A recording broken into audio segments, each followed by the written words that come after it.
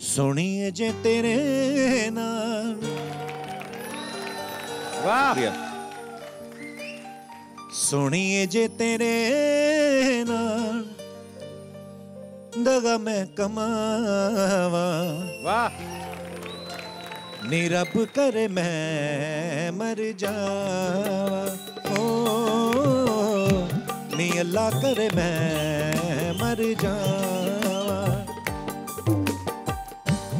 ਤੇਰੀ ਜੇ ਤਾਰੀਫ ਤੈਨੂੰ ਝੂਠ ਮੈਂ ਸੁਣਾਵਾ ਨੀ ਅੱਲਾ ਕਰੇ ਮੈਂ ਮਰ ਜਾਵਾ।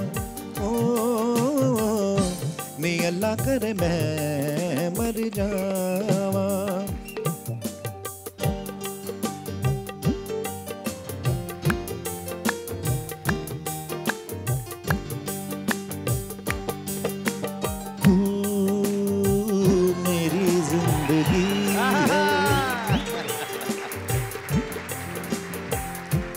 ਸਭ ਨੇ ਆਪਣੀ ਜਵਾਨੀ 'ਚ ਬੜਾ ਸੁਣਿਆ ਤੂੰ ਮੇਰੀ ਜ਼ਿੰਦਗੀ ਹੈ ਤੂੰ ਮੇਰੀ ਹਰ ਖੁਸ਼ੀ ਹੈ ਤੂੰ ਹੀ ਪਿਆਰ ਤੂੰ ਹੀ ਚਾਹਤ ਤੂੰ ਹੀ ਆਸ਼ਕੀ ਹੈ ਤੂੰ ਮੇਰੀ ਜ਼ਿੰਦਗੀ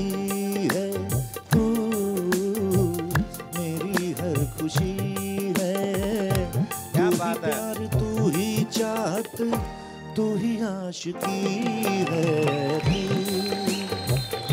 ਨੀ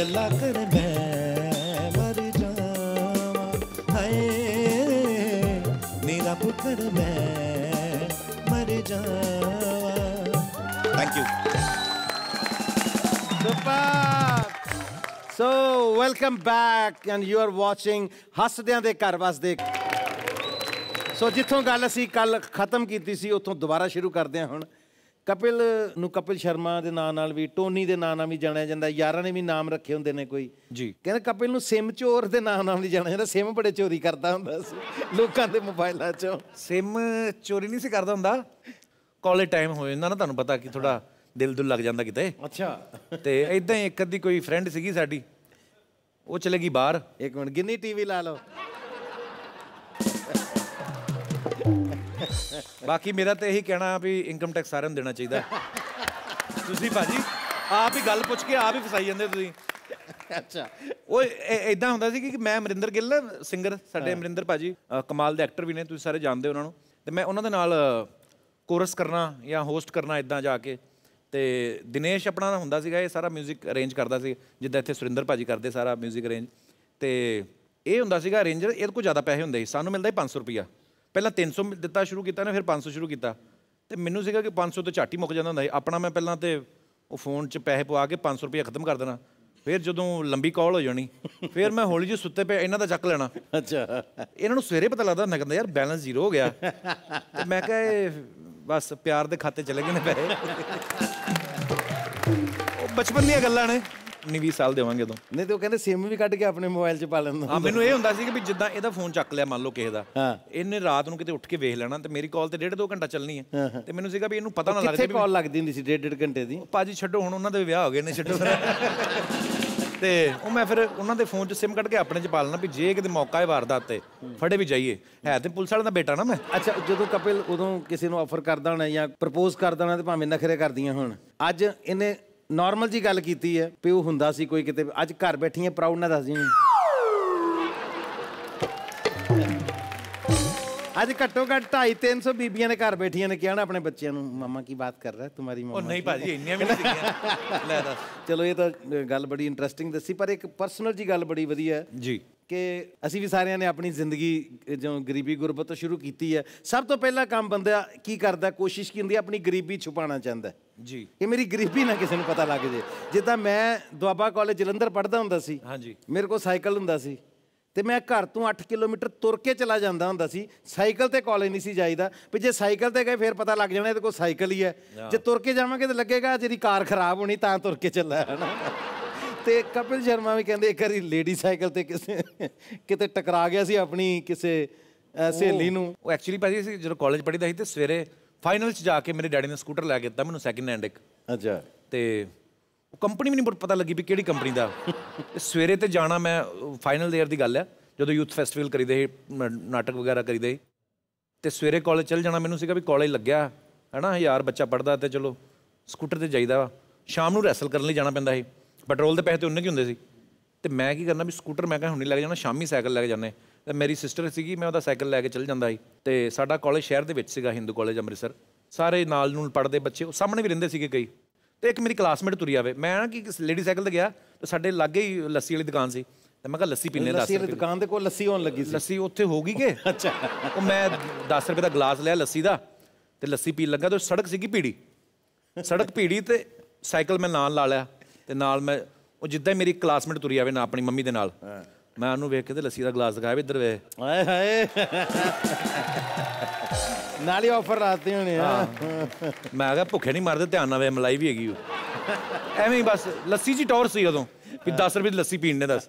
ਇਹ ਵੀ ਨਹੀਂ ਵੀ ਕਿਸੇ ਨੂੰ ਪਿਆਣ ਦੇ ਆਪ ਹੀ ਪੀਣੇ ਉਨੀ ਦੇਰ ਨੂੰ ਇੱਕ ਬਾਬਾ ਆਇਆ ਖਿਜਿਆ ਪਿਆ ਸਾਰੀ ਉਮਰ। ਉਹ ਲੈ ਕੇ ਨਾ ਰੇੜਾ ਜਾ ਘੋੜੇ ਵਾਲਾ ਪਿੱਛੇ ਧਾਗਿਆਂ ਦੇ ਅੰਮ੍ਰਿਤਸਰ ਧਾਗਿਆਂ ਦਾ ਬੜਾ ਕੰਮ। ਹੈ। ਧਾਗਿਆਂ ਦੇ ਬੰਡਲ ਕਿੱਡੇ ਵੱਡੇ ਵੱਡੇ ਰੱਖੇ ਤੇ ਉੱਤੇ ਟਾਂਗੇ ਤੇ ਚੜਿਆ ਤੇ ਕਹਿੰਦਾ ਆਹ ਸਾਈਕਲ ਕਿਹਦਾ? ਆ?" ਅੱਛਾ ਉਹਨੇ ਵੀ ਉਦੋਂ ਪੁੱਛਿਆ ਜਦੋਂ ਕੁੜੀ ਦੀਆਂ ਨਜ਼ਰਾਂ ਮੇਰੇ ਨਾਲ ਮਿਲ ਗਈਆਂ। ਮੈਂ ਇਧਰੋਂ ਕੁੜੀ ਵੇਖਾਂ ਮੈਨੂੰ ਵੇਖਣ ਡਈ ਆ ਤੇ ਮੈਂ ਲੱਸੀ ਪੀਵਾਂ ਇਧਰ ਬਾਬੇ ਵਾਲ ਵੇਖਾਂ।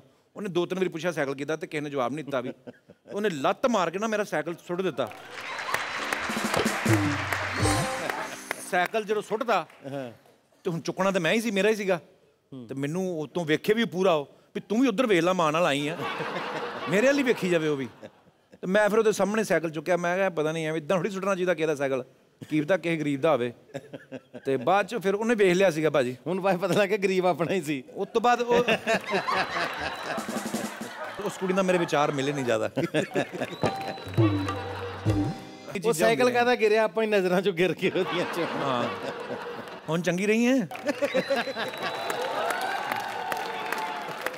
ਇੱਕ ਕਿੱਸਾ ਕਪਿਲ ਸ਼ਰਮਾ ਦਾ ਹੋਰ ਬੜਾ ਮਸ਼ਹੂਰ ਹੈ ਕਿ ਇਹ ਆਪਣੇ ਮਹੱਲੇ ਦੇ ਵਿੱਚ ਹਰ ਘਰ ਦੇ ਵਿੱਚ ਜਾ ਕੇ ਮਲਕੜੇ ਜੇ ਹਲਦੀ ਚੌਲ ਮੌਲੀਆਂ ਪਾ ਕੇ ਆ ਜਾਂਦਾ ਹੁੰਦਾ ਸੀ ਸਵੇਰੇ ਡੋਰ ਖੁੱਲਦਾ ਹੁੰਦਾ ਸੀ ਤੁਹਾਨੂੰ ਲੱਗਦਾ ਹੁੰਦਾ ਕੋਈ ਟੂਣਾ ਕਰ ਗਿਆ ਸਾਡੇ ਘਰ ਦੇ ਬਾਹਰ।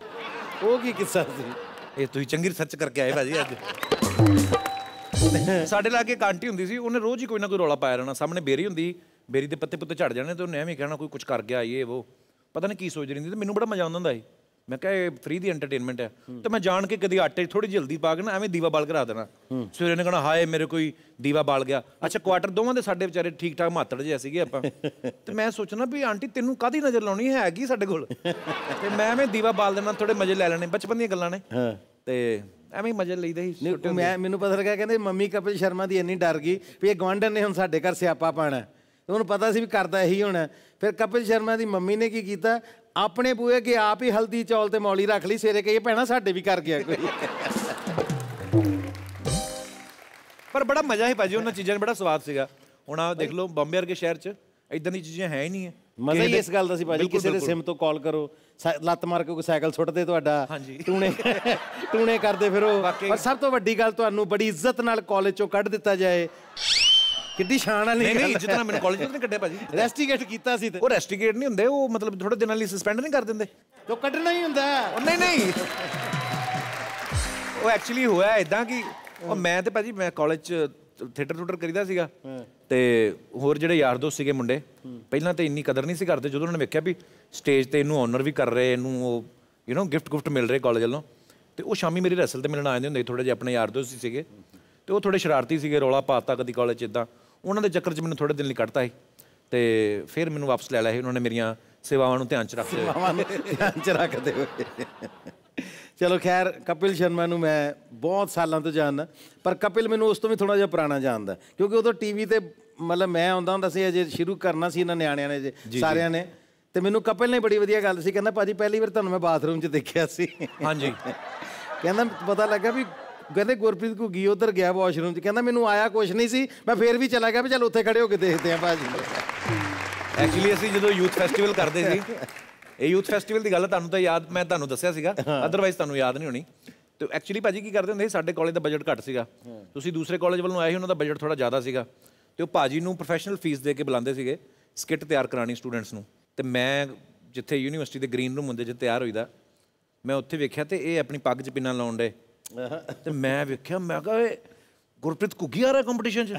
ਮੈਂ ਕਿਹਾ ਅਸੀਂ ਹਾਰ ਜਾਣਾ ਜੇ। ਤੇ ਮੈਂ ਜਾ ਕੇ ਆਪਣੇ ਮੁੰਡਿਆਂ ਨੂੰ ਦੱਸਿਆ ਮੈਂ ਕਿਹਾ ਉਧਰ ਤੇ ਘੁੱਗੀ ਭਾਜੀ ਆ ਰਹੇ ਨੇ। ਕਹਿੰਦੇ ਨਹੀਂ ਨਹੀਂ ਉਹਨਾਂ ਨੇ ਤਿਆਰ ਕਰਾਈ ਹੈ ਸਕਿੱਟ ਉਹ ਨਹੀਂ ਆ ਰਹੇ ਕੰਪੀਟੀਸ਼ਨ ਫਿਰ ਮੈਂ ਕਿਹਾ ਚਲੋ ਠੀਕ ਹੈ ਪਰ ਅਸੀਂ ਤੁਹਾਡੇ ਫੈਨ ਨੇ ਭਾਈ ਤੁਹਾਡੇ ਤੋਂ ਬਹੁਤ ਕੁਝ ਸਿੱਖਿਆ। ਨਹੀਂ, ਨਹੀਂ, ਛੋਟਾ ਭਰਾ। ਕਿ ਇੰਨੇ ਸਾਲਾਂ ਤੋਂ ਤੁਹਾਨੂੰ ਸੁਣਦੇ ਆਏ bless. ਸਟੇਜ ਤੇ ਬੋਲਣਾ ਔਰ ਬਿਨਾ ਕਿਸੇ ਨੂੰ ਹਰਟ ਕੀਤੇ ਬਿਨਾ ਬਿਲੋ ਦਾ ਬੈਲਟ ਗਏ ਕਿੱਦਾਂ ਲੋਕਾਂ ਨੂੰ ਹਸਾਉਣਾ ਹੈ ਤੁਹਾਡੇ ਤੋਂ ਸਿੱਖੀਆਂ ਨੇ ਭਾਜੀ ਆਪਾਂ ਚੀਜ਼ਾਂ। God bless, so love you ਭਾਜੀ। Thank you thank you so very much thank you so much Kapil Sharma ਜ਼ਿੰਦਗੀ ਦੇ ਵਿੱਚ ਗਿੰਨੀ ਨੇ ਦਸਤਕ ਕਦੋਂ ਦਿੱਤੀ? ਤੁਸੀਂ ਗਿੰਨੀ ਦੀ ਲਾਈਫ ਚ ਐਂਟਰ ਕੀਤੇ ਜਾਂ ਗਿੰਨੀ ਤੁਹਾਡੀ ਲਾਈਫ ਚ ਐਂਟਰ ਕੀਤੀ? ਪਬਲਿਕ ਨੂੰ ਅੱਛਾ ਲੱਗੇਗਾ ਜਾਣ ਕੇ ਕਿ ਤੁਹਾਡੀ ਜ਼ਿੰਦਗੀ ਚ ਫਸਟ ਮੀਟਿੰਗ ਕਿੱਥੇ ਹੁੰਦੀ ਹੈ? ਕਿਵੇਂ ਇੱਕ ਦੂਸਰੇ ਲਈ ਲਾਈਕਿੰਗ ਬਣਦੀ ਹੈ? ਮੈਂ ਭਾਜੀ ਜਲੰਧਰ ਪੜ੍ਹਦਾ ਸੀਗਾ ਉੱਥੇ ਏਪੀਜੇ ਕਾਲਜ ਤੇ ਅਸੀਂ ਯੂਥ ਫੈਸਟੀਵਲ ਚ ਪਾਰਟਿਸਿਪੇਟ ਕਰੀਦਾ ਸੀਗਾ। ਤੇ ਉਸ ਕਾਲਜ ਚ ਵੀ ਮੈਨੂੰ ਐਡਮਿਸ਼ਨ ਇਸੇ ਲਈ ਮਿਲੀ ਸੀਗੀ ਕਿ ਸਾਡੇ ਕਾਲਜ ਵੱਲੋਂ ਪਾਰਟਿਸਿਪੇਟ ਕਰੋ। ਕੰਮ ਕਰਨ ਦੀ ਸ਼ੁਰੂ ਤੋਂ ਆਦਤ ਸੀਗੀ। ਮੈਂ 14 ਸਾਲ ਦੀ ਉਮਰ ਚ ਪਹਿਲੀ ਵਾਰੀ ਕੰਮ ਕਰਨਾ ਸ਼ੁਰੂ ਕਰਤਾ ਸੀਗਾ ਮੈਂ, ਤਾਂ ਕਿ ਆਪਣੀ ਪਾਕਟ ਮਨੀ ਚੱਲਦੀ ਰਹੇ ਵੀ ਘਰੋਂ ਨਾ ਪੈਸੇ ਮੰਗਣੇ ਪੈਣ। ਮੰਗੇ ਵੀ ਤੇ ਦੇਣੇ ਨਹੀਂ, ਹੈ ਹੀ ਨਹੀਂ ਸੀਗਾ ਤੇ ਦੇਣੇ ਕਿੱਥੋਂ ਤੇ ਫਿਰ ਨਾਲ ਦੀ ਨਾਲ ਕੀ ਆਪਣੀ ਪਾਕਟ ਮਨੀ ਵਾਸਤੇ ਦੂਸਰੇ ਕਾਲਜ 'ਚ ਕੰਮ ਕਰੀਦਾ ਸੀਗਾ। ਤੇ ਐਚਐਮਵੀ ਕਾਲਜ ਜਲੰਧਰ, ਮੈਂ ਗਿਆ ਸਕਿੱਟ ਕਾਲਜ ਕਰਾਉਣ, ਆਪਣਾ ਪਲੇ ਵਗੈਰਾ ਕਰਾਉਣ। ਤੇ ਉੱਥੇ ਗਿਨੀ ਨਾਲ ਮੇਰੀ ਮੁਲਾਕਾਤ ਹੋਈ। ਤੇ ਮੈਂ ਨਾ ਆਡੀਸ਼ਨ ਲੈ ਲੈ ਕੇ ਥੱਕ ਗਿਆ ਸੀਗਾ। ਮੈਨੂੰ ਚਾਹੀਦੀਆਂ ਸੀ 6 ਕੁੜੀਆਂ ਸਕਿੱਟ ਵਾਸਤੇ ਤੇ ਇੱਕ ਹਿਸਟੋਨਿਕਸ ਕਰਨ ਵਾਸਤੇ ਕੁੜੀ ਚਾਹੀਦੀ ਸੀ ਤੇ ਮੈਂ ਗਿਨੀ ਜਦੋਂ ਆਈ ਤੇ ਗਿਨੀ ਨੇ ਮੈਂ ਇੱਕ ਵਾਰੀ ਕਰਕੇ ਦਿਖਾਇਆ ਉਹਨੇ ਫਟਾਫਟ ਕਾਪੀ ਕਰ ਲਿਆ ਉਹਨੂੰ। ਮੈਂ ਕਿਹਾ ਯਾਰ ਬੜਾ ਵਧੀਆ ਕੀਤਾ ਇਹਨੇ। ਤੇ ਮੈਂ ਕਿਹਾ ਗਿਨੀ ਤੂੰ ਕੰਮ ਕਰ ਬਾਕੀ ਵੀ ਜਿਹੜੀਆਂ ਹੋਰ ਕੁੜੀਆਂ ਆਈਆਂ ਸਾਰਿਆਂ ਦੀ ਆਡੀਸ਼ਨ ਤੂੰ ਲੈ ਤੇ ਜਿਹੜੀ ਤੈਨੂੰ ਵਧੀਆ ਲੱਗੂਗੀ ਉਹ ਇਹ ਲੈ ਕੇ ਸੱਚੀ। ਠੀਕ ਲੱਗੀ ਸੀ ਕਿ ਐਕਟਿੰਗ ਠੀਕ ਲੱਗੀ ਮਾਣ ਦਿੱਤਾ ਸੀ ਐਵੇਂ? ਨਹੀਂ ਨਹੀਂ ਮਾਨ ਨਹੀਂ ਸੀ ਦਿੱਤਾ ਬਹੁਤ ਵਧੀਆ ਕੀਤਾ ਸੀ ਉਹਨੇ। ਔਰ ਉਦੋਂ ਉਹਨੂੰ ਜਦੋਂ ਮੈਂ ਪਾਰਟਿਸਿਪੇਟ ਕਰਵਾਇਆ ਉਹ ਫਸਟ ਵੀ ਆਈ ਉੱਥੇ ਜ਼ੋਨਲ ਚ। ਫਿਰ ਮੈਨੂੰ ਇਦਾਂ ਲੱਗਦਾ ਹੁੰਦਾ ਸੀ ਕਿ ਵੀ ਜਦੋਂ ਅਸੀਂ ਜਾਣਾ ਕਿਉਂਕਿ ਉਹਨਾਂ ਨੂੰ ਪਤਾ ਸੀ ਅੰਮ੍ਰਿਤਸਰੋਂ ਆਉਂਦੇ ਆ ਟ੍ਰੇਨ 'ਚ ਬਹਿ ਕੇ ਸਵੇਰੇ ਸਵੇਰੇ ਰੋਟੀ ਲੈ ਆਉਂਦੀ ਹੁੰਦੀ ਸੀਗੀ। ਤੇ ਮੈਨੂੰ ਲੱਗਾ ਵੈਸੇ ਹੀ ਲਿਆਉਂਦੀ ਰੋਟੀ ਪਰ ਉਹਨੂੰ ਇਹ ਨਹੀਂ ਸੀ ਪਤਾ ਕਿ ਸਾਰੀ ਜ਼ਿੰਦਗੀ ਪਕਾਉਣੀ ਹੈ ਬਣ ਕੇ ਇਸ ਬੰਦੇ ਦੀ ਰੋਟੀ। ਆਹ ਪਤਾ ਨਹੀਂ। ਤੇ ਮੇਰੇ ਯਾਰ ਦੋਸਤ ਜਿਹੜੇ ਉਹਨਾਂ ਨੇ ਕਦੀ ਕਹਿਣਾ ਨਾ ਵੀ ਗਿੰਨੀ ਕੀ ਲਿਆਈ ਕਰੋ ਤੇ ਉਹ ਕਹਿੰਦੀ ਨਹੀਂ ਨਹੀਂ ਤੁਹਾਡੇ ਵਾਸਤੇ ਨਹੀਂ ਕਪਿਲ ਸਰ ਵਾਸਤੇ ਆ। ਤੇ ਇਹਨਾਂ ਨੇ ਮੈਨੂੰ ਦੱਸਣਾ ਬਾਅਦ ਚੋਂ ਕਹਿੰਦੇ ਤੈਨੂੰ ਹੀ ਰੋਟੀ ਪੁੱਛਦੀ ਸਾਨੂੰ ਤਾਂ ਖਵਾਉਂਦੀ ਨਹੀਂ। ਤੇ ਪਤਾ ਨਹੀਂ ਬਸ ਇਦਾਂ ਹੀ ਮੈਨੂੰ ਵੀ ਲੱਗਾ ਵੀ ਚਲੋ ਸ਼ੁਕਰ ਹੈ ਪ੍ਰਮਾਤਮਾ ਸਾਨੂੰ ਵੀ ਕੋਈ ਪਿਆਰ ਕਰਦਾ। ਉਹਦੀ ਮੈਂ ਰਿਸਪੈਕਟ ਇਸ ਕਰਕੇ ਵੀ ਬਹੁਤ ਕਰਦਾ ਕਿ ਬਹੁਤ ਵਧੀਆ ਪਰਿਵਾਰ ਤੋਂ ਬੜੀ ਵਧੀਆ ਫੈਮਿਲੀ ਤੋਂ। ਫਾਈਨੈਂਸ਼ੀਅਲੀ ਵੀ ਸਾਡੇ ਤੋਂ, ਮਤਲਬ ਸਾਡੇ ਤੋਂ ਤੇ ਖੈਰ ਮੈਂ ਕੰਪੈਰੀਜ਼ਨ ਵੀ ਨਹੀਂ ਕਰਨਾ ਚਾਹੁੰਦਾ, ਬੜੀ ਵਧੀਆ ਫੈਮਿਲੀ ਤੋਂ, ਚੰਗਾ ਰੱਜੇ ਪੁੱਜੇ ਘਰ ਤੋਂ। ਤੇ ਉਹ ਇੱਕ ਜੈਨੂਨ ਪਿਆਰ ਜਿਹਨੂੰ ਤੁਸੀਂ ਕਹਿ ਸਕਦੇ ਹੋ ਵੀ ਉਹਨੂੰ ਲੱਗਾ ਕਿ ਇਹ- ਇਹ ਮੇਰੇ ਲਈ ਲਾਈਫ ਪਾਰਟਨਰ ਹੋ ਸਕਦਾ ਸ਼ਾਇਦ। ਉਦੋਂ ਮਤਲਬ ਇਹ ਗੱਲ ਮੈਂ ਕਰ ਰਿਹਾ ਤੁਹਾਨੂੰ, ਖੈਰ ਮੇਰੇ ਖਿਆਲ ਨਾਲ 2006 ਦੀ। ਇਹ ਗੱਲ ਬੜੀ ਇੰਪੋਰਟੈਂਟ ਹੈ ਕਿ ਅੱਜ ਕਪਿਲ ਸ਼ਰਮਾ ਸਾਰੀ ਦੁਨੀਆ ਦੀਆਂ ਕੁੜੀਆਂ ਨੂੰ ਲੱਗ ਸਕਦਾ ਸੀ ਕਿ ਮੋਸਟ ਸੂਟੇਬਲ ਬੈਚਲਰ ਹੈ ਮੇਰੇ ਵਾਸਤੇ ਵਿਆਹ ਵਾਸਤੇ। ਪਰ ਉਸ ਸਮੇਂ ਜਦੋਂ ਕਪਿਲ ਸ਼ਰਮਾ ਸਿਰਫ ਸੰਘਰਸ਼ ਕਰ ਰਿਹਾ ਸੀ ਕਪਿਲ ਸ਼ਰਮਾ ਕੋਲ ਕੁਝ ਨਹੀਂ ਸੀ ਔਰ ਗਿੰਨੀ ਹੋਣਾ ਕੋਲ ਸਭ ਕੁਝ ਸੀ ਉਸ ਵੇਲੇ। ਉਸ ਵੇਲੇ ਜੇ ਗਿੰਨੀ ਨੇ ਡਿਸਾਈਡ ਕੀਤਾ ਸੀ ਕਿ he is the right choice ਮੇਰੇ ਖਿਆਲ ਨਾਲ ਗਿੰਨੀ ਲਈ ਵੀ ਇੱਕ ਵਾਰੀ ਤਾਲੀਆਂ ਬਣ ਗਈਆਂ। ਔਰ ਗਿੰਨੀ ਨੂੰ ਮੈਂ ਬੜੇ ਸਾਲਾਂ ਤੋਂ ਕਪਿਲ ਤੋਂ ਪੁਰਾਣਾ ਸ਼ਾਇਦ ਗਿੰਨੀ ਨੂੰ ਜਾਣਦਾ। ਔਰ ਮੈਨੂੰ ਇਹ ਵੀ ਯਾਦ ਹੈ ਕਿ ਉਸ ਪਰਿਵਾਰ ਦੇ ਵਿੱਚ ਇਸ ਗੱਲ ਦੀ ਹਿੱਚ ਵੀ ਸੀ ਥੋੜੀ ਕਿ ਮੁੰਡਾ ਸੈਟਲ ਨਹੀਂ ਹੈ ਕਿਉਂਕਿ ਮੇਰਾ ਵੀ ਜਦੋਂ ਵਿਆਹ ਹੋਇਆ ਇਹਨਾਂ ਪੰਗਿਆਂ ਨਾਲ ਹੀ ਉਦੋਂ ਹੋਇਆ ਸੀ ਕਹਿੰਦੇ ਮੁੰਡਾ ਐਕਟਰ ਹੈ ਕਹਿੰਦੇ ਉਹ ਤੇ ਠੀਕ ਹੈ ਪਰ ਕਰਦਾ ਕੀ ਹੈ? ਸਾਡੇ ਕੰਮ ਨੂੰ ਕੰਮ ਨਹੀਂ ਸਮਝਿਆ ਜਾਂਦਾ ਸੀ ਵੀ ਕੋਈ ਕੰਮ ਵੀ ਕਰਦੇ ਨੇ। ਤੇ ਉਹ ਜਦੋਂ ਕਪਿਲ ਦਾ ਬਹੁਤ ਜ਼ਿਆਦਾ ਕੰਪਲਿਕੇਟਡ ਸੀ ਕੰਮ ਮੈਨੂੰ ਅੱਜ ਵੀ ਯਾਦ ਹੈ ਕਪਿਲ ਸ਼ਰਮਾ ਨੇ ਪੂਰੀ ਜਿੰਦ ਜਾਨ ਲਾ ਕੇ ਆਪਣੀ ਰੂਹ ਲਾ ਕੇ ਕਪਿਲ ਸ਼ਰਮਾ ਨੇ ਜਦੋਂ ਲਾਫਟਰ ਚੈਲੰਜ ਥਰਡ ਜਿੱਤਿਆ ਸੀ ਨਾ? ਜੀ ਜੀ। ਥਰਡ ਦਾ ਚੈਂਪੀਅਨ ਬਣਿਆ ਸੀ ਕਪਿਲ ਸ਼ਰਮਾ ਉਹ 10 ਲੱਖ ਰੁਪਈਆ ਹਾਂਜੀ। ਕੈਸ਼ ਮਿਲਿਆ ਸੀ। ਔਰ ਉਦੋਂ ਵਿੱਕੀ ਭਾਜੀ ਚਾਚਾ ਰੌਣਕੀ ਰਾਮ ਮੇਰੇ ਮੈਂਟਰ ਜੀ, ਜੀ। ਕਪਿਲ ਦੇ ਵੀ ਸੀਨੀਅਰ ਨੇ ਜੀ, ਜੀ। ਭਾਜੀ ਨੇ ਦੇ ਵੀ। ਅਸੀਂ ਘਰ ਬਹਿ ਕੇ ਸਲਾਹ ਕਰਦੇ ਵੀ ਹੁਣ ਤਾਂ 10 ਲੱਖ ਰੁਪਏ ਵੀ ਜਿੱਤ ਗਿਆ ਹੁਣ ਇੰਪ੍ਰੈਸ਼ਨ ਪੈ ਜਾਏਗਾ ਕਪਿਲ ਦਾ। ਫਿਰ ਅਸੀਂ ਸਲਾਹ ਕਰਕੇ ਵਿੱਕੀ ਭਾਜੀ ਨੂੰ ਭੇਜਿਆ ਉਹ ਸਿਆਣੇ ਸੀਗੇ ਵੀ ਇਹ ਸਿਆਣੇ ਆ ਔਰ ਗਿੰਨੀ ਦੇ ਪਰਿਵਾਰ ਨੂੰ ਜਾਣਦੇ ਵੀ ਆ ਤੇ ਜਾ ਕੇ ਦੱਸੋ ਮੁੰਡਾ ਲਾਫਟਰ ਚੈਲੰਜ ਜਿੱਤ ਗਿਆ। 10 ਲੱਖ ਰੁਪਏ ਜਿੱਤਿਆ ਮੁੰਡੇ ਨੇ। ਇਦਾਂ ਹੀ ਜਦੋਂ ਵਿੱਕੀ ਭਾਈ ਨੇ ਗੱਲ ਕੀਤੀ ਆਪਣੇ ਨੂੰ ਬੜੀ ਟੌਰ ਨਾਲ ਦੱਸਿਆ ਵੀ ਕਪਿਲ ਸ਼ਰਮਾ ਨੇ 10 ਲੱਖ ਰੁਪਏ ਜਿੱਤ ਲਿਆ। ਕਹਿੰਦੇ ਉਹਦੇ 2 ਮਹੀਨੇ ਚ ਮੁੱਕ ਜਾਣਾ ਬਾਅਦ ਚ ਕੀ ਕਰੇਗਾ? ਆ ਉਦੋਂ 20 ਲੱਖ ਦੀ ਕਾਰ 'ਚ ਤੇ ਉਹ ਆਂਦੀ ਹੁੰਦੀ ਸੀ। ਸੋ ਉਹ ਮੂਮੈਂਟਸ ਦੇ ਵਿੱਚੋਂ ਨਿਕਲ ਕੇ ਤੁਸੀਂ ਜਦੋਂ ਜ਼ਿੰਦਗੀ ਨੂੰ ਜਿਉਂਦੇ ਹੋ ਜ਼ਿੰਦਗੀ ਦੇ ਘੋੜੇ ਤੇ ਸ਼ਾਹ ਸਵਾਰ ਬਣ ਕੇ ਤੁਸੀਂ ਜਦੋਂ ਮੰਜ਼ਲਾਂ ਸਰ ਕਰਦੇ ਹੋ ਮਕਾਮ ਹਾਸਲ ਕਰਦੇ ਹੋ ਉਹ ਖੁਸ਼ੀ ਨਾਲ ਦੀ ਖੁਸ਼ੀ ਦੁਨੀਆ 'ਚ ਹੋਰ ਕੋਈ ਨਹੀਂ ਬਿਲਕੁਲ ਭਾਜੀ ਮੈਂ ਨਾ ਅਸੀਂ ਆਪਣੇ ਯਾਰਾਂ ਦੋਸਤਾਂ ਜਦੋਂ ਬੈਠੀ ਦਾ ਬਿਕੋਜ਼ ਜਿਹੜੇ ਵੀ ਸਾਰੇ ਯਾਰ ਦੋਸਤ ਸੀਗੇ ਸਾਡੇ ਕਾਲਜ ਦੇ ਜਿਨ੍ਹਾਂ ਨਾਲ ਅਸੀਂ ਨਾਟਕ ਨੂਟਕ ਕਰੀਦੇ ਸੀ ਸਾਰੇ ਆਲਮੋਸਟ ਬੰਬੇ ਸ਼ਿਫਟ ਹੋ ਗਏ ਹੁਣ। ਮੈਂ ਕਦੀ ਕਦੀ ਗੱਲ ਕਰਦਾ ਹੁੰਦਾ ਕਿ ਮੈਂ ਕਿਹਾ ਜਿਹੜਾ 2 ਰੁਪਏ ਦੀ ਕੁਲਫੀ ਦਾ ਮਜ਼ਾ ਹੁੰਦਾ ਹੈ ਨਾ ਨਿੱਕੇ ਹੁੰਦੇ ਆ। ਹਾਏ ਹਾਏ ਹਾਏ। ਵੀ ਜਦੋਂ ਯੂ نو ਗਲੀ ਦੇ ਵਿੱਚ ਆਉਣਾ ਉਹਨੇ ਆਲੂ ਟਿੱਕੀ ਵਾਲੇ ਨੇ ਹਾਏ ਹਾਏ। ਤੇ ਉਹ ਵੱਡੀ ਜੀ ਛੁਰੀ ਲੈ ਕੇ ਵੱਡੇ ਤਵੇ ਤੇ ਟਨ ਟਨ ਟਨ ਟਨ ਮਾਰਨਾ। ਵਜਨ ਆਵਾਜ਼ਾਂ ਉਹਨੇ ਕੀ ਪੈਸੇ ਹੋਣੇ? ਆਹੋ। ਆਵਾਜ਼ਾਂ ਆਉਂਦੀਆਂ ਹੁੰਦੀਆਂ। ਇੰਨਾ ਮਜ਼ਾ ਆਉਂਦਾ ਹੁੰਦਾ ਸੀ ਉਸ ਚੀਜ਼ ਦਾ। ਸੋ ਮੈਨੂੰ ਲੱਗਦਾ ਕਿ ਹਰ ਜਿਹੜਾ ਪਲ ਹੈ ਜ਼ਿੰਦਗੀ ਦਾ ਬੜਾ ਖੂਬਸੂਰਤ ਹੁੰਦਾ। ਉਹਨੂੰ ਸ਼ਿੱਦਤ ਨਾਲ ਜੀਓ ਉਹਨੂੰ ਉਹ ਦੁਬਾਰਾ ਮੁੜ ਕੇ ਨਹੀਂ ਆਉਣਾ। ਸੋ ਮੈਂ ਉਸ ਚੀਜ਼ ਦੇ ਵੀ ਬੜੇ ਮਜ਼ੇ ਲਏ। ਤੇ ਹੁਣ ਤੇ ਆ ਹੀ ਰਹੇ ਨੇ। ਹੁਣ ਘਰ 'ਚ ਬੱਚਾ ਹੋਇਆ ਰੱਬ ਦੀ ਮਿਹਰ ਹੋਈ ਹੈ ਮੇਰੀ ਛੋਟੀ ਜੀ ਧੀ ਹੈ ਇੱਕ। ਵਾਹ ਵਾਹ ਘਰ ਭੱਜ ਕੇ ਜਾਣ ਨੂੰ ਦਿਲ ਧੀਆਂ ਕਰਦਾ ਬਾਰੇ ਬੇਟੀਆਂ ਬਾਰੇ ਬੱਚੀਆਂ ਬਾਰੇ ਮੈਂ ਹਰ ਵਾਰੀ ਸਟੇਜ ਤੇ ਵੀ ਬੋਲਦਾ ਹਾਂ ਕਿਉਂਕਿ ਮੈਂ ਖੁਦ ਮੇਰੀ ਵੱਡੀ ਬੇਟੀ ਹੈ ਫਿਰ ਮੇਰੇ ਘਰ ਬੇਟਾ। ਜੀ, ਜੀ। ਤੈਨੂੰ ਪਤਾ ਹਾਂਜੀ, ਰਾਵੀ ਹਾਂਜੀ ਭਾਜੀ, ਮੈਨੂੰ ਬਿਲਕੁਲ ਸਾਡੀ ਸਾਰਿਆਂ ਦੀ ਪਹਿਲੀ ਸਾਂਝੀ ਬੇਟੀ ਸਾਡੀ ਉਹੀ ਸੀ। ਮੇਰੇ ਨਾਲੋਂ ਜ਼ਿਆਦਾ ਇਹਨਾਂ ਸਾਰਿਆਂ ਨੇ ਖਿਡਾਇਆ ਸਾਡੇ ਬੱਚਿਆਂ ਨੂੰ। ਔਰ ਰਾਵੀ ਦੇ ਹਨਾ ਮੈਨੂੰ ਮਾਣ ਜਦੋਂ ਬੱਚੀ ਸਾਡੇ ਘਰ ਹੋਈ ਸੀ ਤੇ ਮੈਂ ਕਪਿਲ ਘਰ ਵੀ ਬੇਟੀ ਹੋਈ ਤੇ ਮੈਂ ਤੇ ਕੁਲਜੀਤ ਮੇਰੀ ਵਾਈਫ ਘਰ ਬੈਠੇ ਇਹੀ ਗੱਲ ਕਰ ਰਹੇ ਸੀ ਕਿ ਧੀਆਂ ਤੋਂ ਵੱਧ ਪਿਆਰ ਕੋਈ ਨਹੀਂ ਲੈਂਦਾ ਕਿਉਂਕਿ ਧੀਆਂ ਬਾਰੇ ਗੱਲ ਬੜੀ ਖੂਬਸੂਰਤ ਕਹੀ ਜਾਂਦੀ ਕਿ ਪੁੱਤਾਂ ਤੇਰਾ ਧਨ ਵੰਡਣਾ ਧੀਆਂ ਵੰਡਣਾ ਬਾਪੂ ਵੇ ਦੁੱਖ ਤੇਰਾ। ਵਾਹ ਕੀ ਬਾਤ ਧੀਆਂ ਜਦੋਂ ਵੰਡਦੀਆਂ ਦੁੱਖ ਵੰਡਦੀਆਂ ਮਾਂ ਪਿਓ ਦਾ। ਬਿਲਕੁਲ। ਸੋ ਬੱਚੀ ਲਈ ਵੀ ਬਹੁਤ ਬਹੁਤ ਮੁਬਾਰਕਾਂ ਪ੍ਰਮਾਤਮਾ ਨੇ। ਬਹੁਤ ਸੋਹਣਾ ਤੋਹਫਾ ਦਿੱਤਾ ਕਪਿਲ ਸ਼ਰਮਾ ਦੇ ਵਾਕਈ ਕਪਿਲ ਸ਼ਰਮਾ ਆਰਟਿਸਟ ਬਹੁਤ ਵਧੀਆ ਹੈ ਕੋਈ ਸ਼ੱਕ ਨਹੀਂ ਫਿਲਮਾਂ ਵੀ ਦੇਖੀਆਂ ਫਿਰੰਗੀ ਜਾਂ ਇਸ ਤੋਂ ਪਹਿਲਾਂ ਵੀ ਤੁਹਾਡੀ ਫਿਲਮ ਆਈ ਸੀ ਕਿਸ ਕਿਸ ਕੋ ਪਿਆਰ ਕਰੂੰ। ਤੇ ਟੈਲੀਵਿਜ਼ਨ ਤੇ ਵੀ ਬਹੁਤ ਦੇਖਿਆ ਤੁਹਾਨੂੰ ਸਾਰਿਆਂ ਪਰ ਇੱਕ ਲੋਕਾਂ ਨੂੰ ਬੜਾ ਨਵਾਂ ਕ੍ਰਿਜ਼ਮਾ ਨਜ਼ਰ ਆਇਆ ਜਦੋਂ ਕਪਿਲ ਸ਼ਰਮਾ ਨੇ ਗਾ ਕੇ ਸਟੇਜ ਤੇ ਪਹਿਲੀ ਵਾਰੀ ਦੱਸਿਆ ਸੀ। ਲਾਫਟਰ ਚੈਲੰਜ ਦੇ ਵਿੱਚ ਵੀ ਜਾਂ ਬਾਅਦ ਚ ਵੀ ਜਦੋਂ ਉਹ ਲੋਕਾਂ ਨੂੰ ਕਿਸੇ ਤਰ੍ਹਾਂ ਵੀ ਉਸ ਟੈਲੈਂਟ ਦਾ ਪਤਾ ਨਹੀਂ ਸੀ। ਤੇ ਹੁਣ ਲੋਕੀ ਬਰਾਬਰ ਕਪਿਲ ਸ਼ਰਮਾ ਨੂੰ ਨਾਲ ਸਿੰਗਰ ਵੀ ਸਮਝਦੇ ਆ। ਮੈਂ ਕਪਿਲ ਸ਼ਰਮਾ ਕਮੇਡੀਅਨ ਨੂੰ ਇੰਟਰਵਿਊ ਬੜੀ ਦੇਰ ਤੋਂ ਕਰ ਰਿਹਾ। ਮੈਂ ਚਾਹੁੰਦਾ ਕਿ ਗਾਇਕੀ ਨਾਲ ਵੀ ਇੱਕ ਵਾਰੀ ਸਾਡੀ ਆਡੀਅנס ਦੇ ਨਾਲ ਸਾਂਝ ਪਾਈ ਜਾਏ। ਜ਼ਰੂਰ ਭਾਜੀ। ਮੈਂ ਹੁਣ ਐਕਚੁਅਲੀ ਉਹ ਹੋਇਆ ਕਿ ਵੀ ਜਦੋਂ ਆਪਣਾ ਸ਼ੋਅ ਸ਼ੁਰੂ ਕਰ ਲਿਆ ਉੱਥੇ ਮੈਨੂੰ ਪਤਾ ਸੀਗਾ ਵੀ ਇੱਥੇ ਤੇ ਮੈਨੂੰ ਕਿਸੇ ਨੇ ਰੋਕਣਾ ਨਹੀਂ। ਮੈਂ ਫਿਰ ਧੱਕੇ ਨਾ ਗਾਣਾ ਭਾਜੀ ਉੱਥੇ। ਵੀ ਜਿਹੜਾ ਮੈਨੂੰ ਇੰਨੇ ਸਾਲ ਕਿਸੇ ਨੇ ਗਾਣ ਨਹੀਂ ਨਾ ਦਿੱਤਾ ਹੁਣ ਫਿਰ ਜਿਹੜੀ ਹੀਰੋਇਨ ਆਉਂਦੀ ਮੈਂ ਕਿਹਾ ਲਓ ਜੀ ਤੁਹਾਡੇ ਲਈ ਗਾਣਾ। ਪੇਸ਼ ਹੈ। ਐਵੇਂ ਆਪਣਾ ਸ਼ੌਂਕ ਪੂਰਾ ਕਰ ਲਈਦਾ ਭਾਜੀ। ਅੱਜ ਕਪਿਲ ਸ਼ਰਮਾ ਹਰ ਬਿਲਾਸ ਸੰਘਾ ਤੋਂ ਲੈ ਕੇ ਹਾਂਜੀ।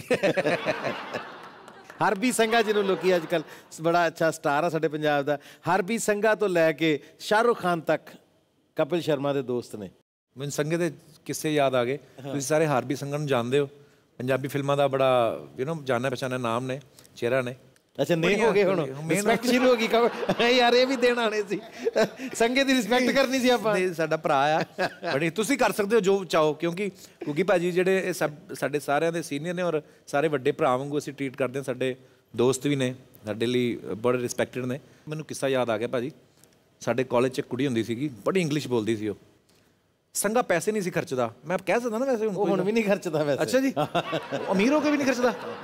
ਤੇ ਕਹਿੰਦਾ ਮੈਂ ਮੈਂ ਕਿਹਾ ਸੰਗੇ ਸਾਨੂੰ ਨੂਡਲ ਹੀ ਖਵਾ ਦੇ ਯਾਰ ਕਿਤੇ ਬੇਟੀ ਕਾਲਜ ਦੇ ਲਾਗੇ। ਉਹਨੇ ਨਹੀਂ ਪਿਓ ਦੇ ਪੁੱਤ ਨੇ ਖਵਾਏ। ਤੇ ਅਸੀਂ ਉਹਨੂੰ ਕਿਹਾ ਵੀ ਆਹ ਕੁੜੀ ਹੈਗੀ ਇੱਕ। ਤੇ ਉਹ ਉਹਨਾਂ ਤੇ ਸੇਲ ਪੁਣਾ ਤੇਰਾ ਕਰਾਨੇ ਆ। ਤੇ ਕਹਿੰਦਾ ਚੱਲ ਜੇ ਕਹਿੰਦਾ ਉਹ ਆਈ ਮੈਨੂੰ ਮਿਲਣ ਤੇ ਫਿਰ ਕਹਿੰਦਾ ਠੀਕ ਆ।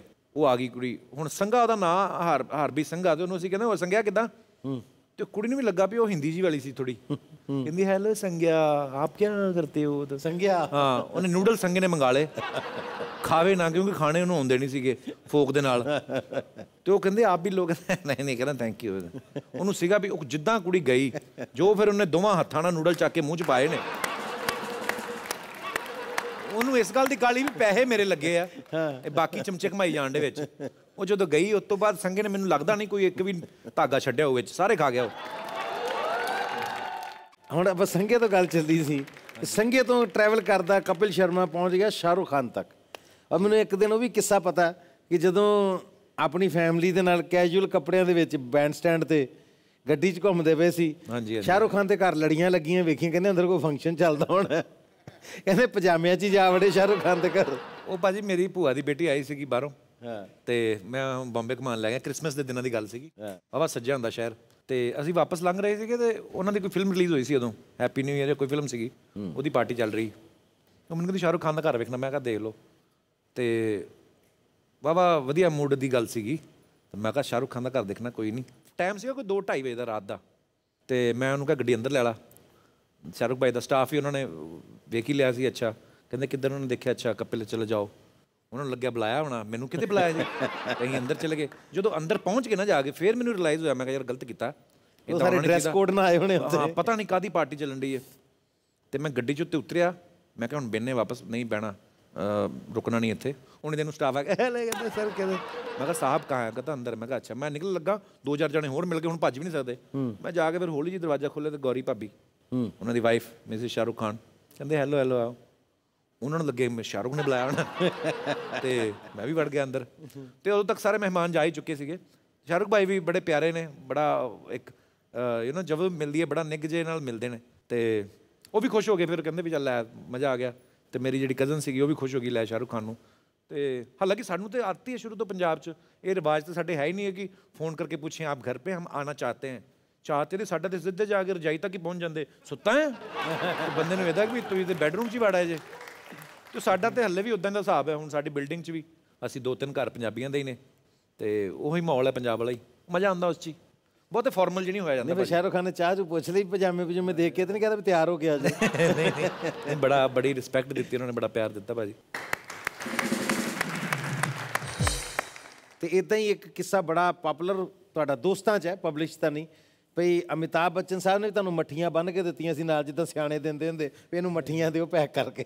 ਅਸੀਂ ਬੱਚਨ ਸਾਹਿਬ ਦੇ ਘਰੇ ਗਏ ਜਦੋਂ ਸਭ ਤੋਂ ਪਹਿਲੀ ਵਾਰੀ ਉਹਨਾਂ ਨਾਲ ਸ਼ੂਟ ਕਰਨਾ ਸੀਗਾ ਤੇ ਉਹਨਾਂ ਨੇ ਬੁਲਾਇਆ ਘਰੇ। ਅੱਛਾ ਮੈਂ ਉਹਨਾਂ ਦੇ ਦੋ ਹੀ ਬੰਗਲੇ ਪਤਾ ਸੀਗੇ ਇੱਕ ਜਲਸਾ ਤੇ ਦੂਸਰਾ ਸਾਨੂੰ ਅਜੇ ਤੱਕ ਹੀ ਪਤਾ ਨੇ। ਮੈਂ ਤੀਜੇ 'ਚ ਗਿਆ ਭਾਜੀ ਉਹ ਵੀ ਉਹਨਾਂ ਦਾ ਸੀਗਾ।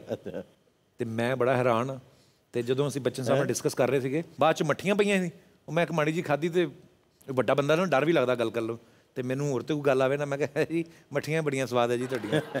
ਤੋ ਸੀਰੀਅਸਲੀ ਲੈ ਗਏ ਇਸ ਗੱਲ ਨੂੰ ਵੀ ਕੋਈ ਨਹੀਂ। ਕਹਿੰਦੇ ਇੱਕ ਪੈਕਟ ਇਨਕੋ ਪੈਕ ਕਰਵਾ ਦੀਜੀਏਗਾ ਮੱਠੀਆਂ ਭਾਜੀ ਲੈ ਕੇ ਮੈਂ ਤੇ ਖਾਧੀਆਂ ਇਹਨਾਂ ਹਫ਼ਤਾ ਤੱਕ ਮੈਂ ਕਿਹਾ ਵੀ ਬੱਚਨ ਸਾਹਿਬ ਨੇ ਦਿੱਤੀਆਂ ਫਿਰ ਮੈਂ ਖਾ ਲੀਆਂ ਬਾਅਦ ਚੋਂ। ਮੈਂ ਕਿਹਾ ਵੀ ਉੱਲੀ ਲੱਗ ਜਾਣੀ ਪਈਆਂ ਪਈਆਂ ਨੂੰ। ਕੋਈ ਨਹੀਂ ਇਹ ਕਿੱਸਾ ਯਾਦ ਤੇ ਰਹੂਗਾ ਪਰ ਸਾਰੀ ਉਮਰ ਕਿਉਂਕਿ ਜਿਨ੍ਹਾਂ ਨੂੰ ਅਸੀਂ ਐਡਮਾਇਰ ਕਰਦੇ ਰਹੇ ਹਾਂ ਜਿਨ੍ਹਾਂ ਨੂੰ ਵੇਖ ਕੇ ਜਿਨ੍ਹਾਂ ਦੀ ਫਿਲਮਾਂ ਵੇਖ ਕੇ ਵੱਡੇ ਹੋਏ ਆ ਫਿਰ ਜਦੋਂ ਉਹਨਾਂ ਨੂੰ ਮਿਲਦੇ ਹਾਂ ਅਸੀਂ ਪਹਿਲੀ ਵਾਰੀ ਤੇ ਮਜ਼ਾ ਤੇ ਆਉਂਦਾ ਹੀ ਬਹੁਤ ਜ਼ਿਆਦਾ ਵਿਸ਼ਵਾਸ ਵੀ ਹੁੰਦਾ ਆਪਣੀ ਕਿਸਮਤ। ਜੀਓ। ਹਾਂ। ਮੈਨੂੰ ਆਡੀਅנס ਦਾ ਵੀ ਨਹੀਂ ਪਤਾ ਮੈਨੂੰ ਕਪਿਲ ਦਾ ਵੀ ਨਹੀਂ ਪਤਾ ਮੈਂ ਸ਼ੋਅ ਨੂੰ ਬਹੁਤ ਇੰਜੋਏ ਕਰ ਰਿਹਾ ਜੀ। ਕਿਉਂਕਿ ਜੋ ਦਿਲ ਦੀਆਂ ਗੱਲਾਂ 'ਚ ਕਪਿਲ ਨਾਲ ਹੋ ਰਹੀਆਂ ਪਰ ਇੱਕ ਗੱਲ ਦਾ ਮੈਨੂੰ ਬੜਾ ਅਫਸੋਸ ਹੈ ਜੀ। ਯਾਰ ਮੈਂ ਵੀ ਹੁਣ ਇੰਨਾ ਪੁਰਾਣਾ ਐਕਟਰ ਹੋ ਗਿਆ ਮੇਰਾ ਵੀ ਦਿਲ ਕਰਦਾ ਮੇਰੀ ਕੋਈ ਮਿਮਿਕਰੀ ਕਰੇ ਮੇਰੀ ਕਰਦਾ ਨਹੀਂ ਯਾਰ ਕੋਈ।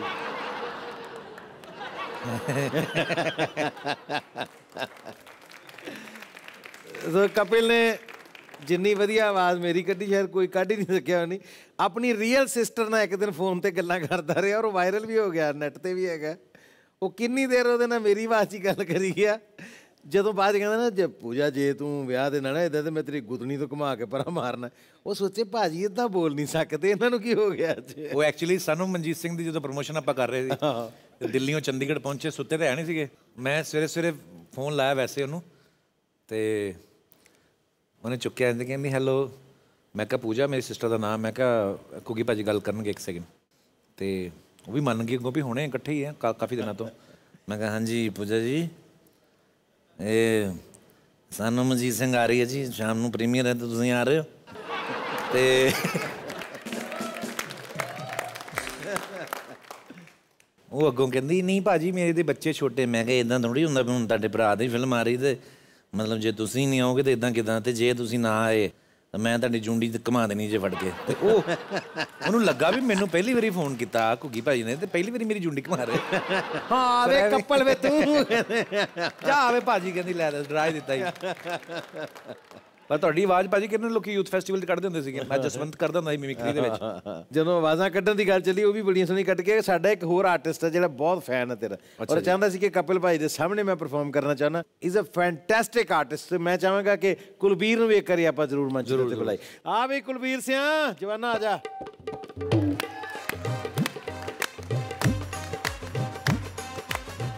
ਬਾਤ। ਰਾਜੀ ਕੁਲਬੀਰ ਜੀ ਕੀ ਹਾਲ ਨੇ? ਕੁਲਬੀਰ ਜੀ ਦੱਸੋ ਜੀ। ਭਾਜੀ ਕਵਰ ਗਰੇਵਾਲ ਜੀ। ਆ ਸਭ ਤੋਂ ਪਹਿਲਾਂ ਜਾ ਜਾ ਜਦ ਪਰ ਬਾਬਾ ਕਹਿੰਦੇ ਆ ਮੈਂ ਕਨਵਰ ਤੋਂ ਜਿੱਥੇ ਵੀ ਜਾਵੇ ਉੱਥੇ ਜਾ ਕੇ ਦੋ ਗੀਤ ਗਾਵਾਂ। ਪਹਿਲਾ ਗੀਤ ਤਾਂ ਮੇਰੇ ਬਾਬਾ ਨੂੰ ਯਾਦ ਆ ਤਾਂ ਦੂਜਾ ਗੀਤ ਮੈਨੂੰ ਭੁੱਲ ਗਿਆ। ਸੋ ਆਪਾਂ ਤੇ ਗਾਉਂਦੇ ਆਏ ਆਪਾਂ ਤੇ ਕਮਲ ਘੋਟਣਾ ਆਇਆ ਔਰ ਆਏ ਵੀ ਬਠੇਡੇ ਤੋਂ ਆ। ਭਾਜੀ ਹਰਭਜਨ ਮਾਨ ਸਾਹਿਬ ਜੀ। ਕੀ ਬਾਤ ਕੀ ਬਾਤ ਆਗਿਆ ਲੈਂਦੇ ਆ ਜੀ। ਅੱਛਾ ਤੈਨੂੰ ਸਾਡਾ ਚੌਂਕੀ ਵਾਰ ਦਾ ਸਲਾਮ ਓਹੋ ਕੀ ਬਾਤ ਇਹੀ ਸਾਡੇ ਪਿਆਰ ਦਾ ਸੁਨੇਹਾ ਤੇਰੇ ਨਾਲ। ਸਾਨੂੰ ਤੇਰੀ ਯਾਦ ਆਉਂਦੀ ਰਹਿਣੀ ਸੁਬਾ ਸ਼ਾਮ। ਅੱਛਾ ਤੈਨੂੰ ਸਾਡਾ ਜਾਂਦੀ ਵਾਰ ਦਾ ਸਲਾਮ ਹਾਂ। ਕੀ ਬਾਤ ਹੈ ਕੀ ਬਾਤ ਹੈ ਕੀ ਬਾਤ ਹਾਏ ਹਾਏ ਹਾਏ ਜੀਓ। ਬਹੁਤ ਵਧੀਆ। ਤੁਸੀਂ ਸੀਰੀਅਸਲੀ ਇਦਾਂ ਲੱਗ ਰਿਹਾ ਕਿ ਉਹ ਸਿੰਗਰ ਇੱਥੇ ਹੀ ਖੜੇ ਨੇ। ਤੁਸੀਂ ਉਹਨਾਂ ਨੂੰ ਸੁਣਾਇਆ ਕਦੀ ਇਦਾਂ ਲਾਈਵ ਹੈ? ਹੁਣ ਸੁਣਾਵਾਂਗੇ ਉਹਨਾਂ ਵਾਰੀ ਵਾਰੀ ਉਹ ਨੇ ਜ਼ਰੂਰ ਇਹ ਸ਼ੋਅ ਦੇਖ ਰਹੇ ਹੋਣਗੇ। ਆਈ ਐਮ ਸ਼ੋਰ ਕਿ ਉਹਨਾਂ ਨੂੰ ਬੜਾ ਹੀ ਮਜ਼ਾ ਆਊਗਾ। ਕਮਾਲ ਕੀਤਾ ਤੁਸੀਂ ਬਹੁਤ ਵਧੀਆ ਬਹੁਤ ਵਧੀਆ। ਕੀ ਬਾਤ ਹੈ ਜੀਓ। ਗੋਡ ਬlesਸ ਆ ਮੇਰੀ ਕਪਿਲ ਜਿਹੜੀ ਵਧੀਆ ਐਕਟਿੰਗ ਅਕੈਡਮੀ ਹੈ ਨਾ ਅੱਛਾ ਜੀ। ਇਹਦੇ ਚ ਨਵੇਂ ਨਵੇਂ ਸਟੂਡੈਂਟਸ ਆ ਰਹੇ ਨੇ। ਤਾਂ ਇਹ ਮੇਰਾ ਜਿਹੜਾ ਬਿਲਕੁਲ ਨਿਊ ਐਂਟਰੈਂਟ ਸਟੂਡੈਂਟ ਹੈ। ਬਹੁਤ ਵਧੀਆ ਜੀ ਬਹੁਤ ਅੱਛਾ ਚਲੋ ਹੁਣ ਇਸ ਤੋਂ ਪਹਿਲਾਂ ਕਿ ਅਸੀਂ ਹੋਰ ਕਲਾ ਦਿਖਾਈਏ, ਕਪਿਲ ਨੂੰ, ਕਪਿਲ ਦੀ ਕਲਾ ਦੇਖ ਲਈਏ। ਤੁਸੀਂ ਕਾਮੇਡੀ ਬੜੀ ਦੇਖੀ ਹੈ, ਗਾਣੇ ਵੀ ਸੁਣੇ ਨੇ, ਔਰ ਲਿਖ ਵੀ ਲੈਂਦਾ, ਸਭ ਕੁਝ ਕਰ ਲੈਂਦਾ, ਪਰ ਇੱਕ ਕਲਾ ਇਹਨੇ ਹੁਣੇ-ਹੁਣੇ ਸਿੱਖੀ ਹੈ। ਜਦੋਂ ਕਪਿਲ ਦੇ ਘਰ ਇੱਕ ਨੰਨੀ ਪਰੀ ਆਈ, ਇਹਦੀ ਬੇਟੀ ਨੇ ਜਨਮ ਲਿਆ। ਜਦੋਂ ਬੰਦਾ ਬਾਪ ਬਣਦਾ ਨਾ, ਉਦੋਂ ਜ਼ਿੰਮੇਵਾਰੀਆਂ ਬੜੀਆਂ ਵੱਧਦੀਆਂ। ਕਹਿੰਦੇ, ਪਾਪਾ ਪਾਪਾ, ਕਹਿੰਦੇ ਸੀ, ਬੜੇ ਸੌਖੇ ਰਹਿੰਦੇ ਸੀ। ਪਾਪਾ ਕੁਹਾਣਾ ਪੈ ਗਿਆ, ਬੜਾ ਪੁਆੜਾ ਪੈ ਗਿਆ। ਹੁਣ ਮੈਂ ਇੱਕ ਗੱਲ ਇਮਾਨਦਾਰੀ ਨਾਲ ਪੁੱਛਣੀ ਵੀ ਜੇ ਕਪਿਲ ਸ਼ਰਮਾ ਦੇ ਡਾਇਪਰ ਬਦਲਨੇ ਸਿੱਖ ਲਏ ਕਿ ਨਹੀਂ ਬੱਚੇ ਦੇ? ਮੈਨੂੰ ਨਾ ਡਰ ਬੜਾ ਲੱਗਦਾ ਐਕਚੁਅਲੀ ਐਡਾ ਛੋਟਾ ਬੱਚਾ ਮੈਂ ਕਦੀ ਵੇਖਿਆ ਹੀ ਨਹੀਂ। ਹਾਂ। ਤੇ ਓਬਵੀਅਸਲੀ ਜਿਨ੍ਹਾਂ ਦੇ ਘਰ ਹੁੰਦੇ ਉਹੀ ਪਹਿਲਾਂ ਵੇਚਦੇ ਨੇ ਤੇ ਮੈਂ ਜਦੋਂ ਦੇਖਿਆ ਮੈਂ ਕਿਹਾ ਏਡੀ ਕਿ ਤੇ ਮੈਂ ਤੈਨੂੰ ਲੱਗਾ ਵੀ ਘੱਟ ਦੇਤੀ ਡਾਕਟਰਾਂ ਨੇ। ਲੱਗਾ ਮੈਂ ਫਿਰ ਜਿਹੜਾ ਜਿਹੜਾ ਉਹ ਹੁੰਦਾ ਨਾ ਨਰਸਰੀ ਰੂਮ ਜਿਹੜਾ ਉੱਥੇ ਜਾ ਕੇ ਮੈਂ ਬਾਕੀ ਬੱਚੇ ਵੇਖੇ ਵੀ ਮੈਂ ਕਿਹਾ ਮੈਨੂੰ ਸਭ ਤੋਂ ਛੋਟਾ ਤਾਂ ਨਹੀਂ ਦਿੱਤਾ। ਤੇ ਮੈਂ ਜਾ ਕੇ ਦੇਖਿਆ ਤੇ ਸਾਰੇ ਏਡੇ ਏਡੇ ਸੀਗੇ। ਤੇ ਅਨਫੋਰਚੂਨੇਟਲੀ ਜਦੋਂ ਹੋਈ ਤੇ ਉਦੋਂ ਮੈਨੂੰ ਇੰਨਾ ਕਫ ਕੋਲਡ ਸੀਗਾ। ਨਾਲੇ ਸ਼ੂਟਿੰਗਾਂ ਛਟੀਆਂ ਵੀ ਚੱਲਦੀਆਂ ਸੀਗੀਆਂ ਤੇ 6-7 ਦਿਨ ਤੇ ਮੈਂ ਉਹਨੂੰ ਚੱਕਿਆ ਨਹੀਂ ਕਿਉਂਕਿ ਮੈਨੂੰ ਨਹੀਂ ਸੀਗਾ ਕਿ ਬੱਚੇ ਨੂੰ ਕੋਈ ਹੈ ਨਾ ਇਨਫੈਕਸ਼ਨ ਹੋ ਜਾਏ ਜਾਂ ਕੁਝ ਪਰ ਹੁਣ ਮੈਨੂੰ ਬੜੀਆਂ ਚੀਜ਼ਾਂ ਨਵੀਆਂ-ਨਵੀਆਂ ਪਤਾ ਲੱਗ ਰਹੀਆਂ ਨੇ। ਮਜ਼ਾ ਆਂਦਾ ਦੇਖ ਕੇ। ਦੁਬਾਰਾ ਇੱਕ ਬਚਪਨਾ ਜਿਹਾ ਤੁਹਾਡਾ ਹੁੰਦਾ ਨਾ ਦੁਬਾਰਾ ਯਾਦ ਆ ਜਾਂਦਾ ਤੁਹਾਨੂੰ।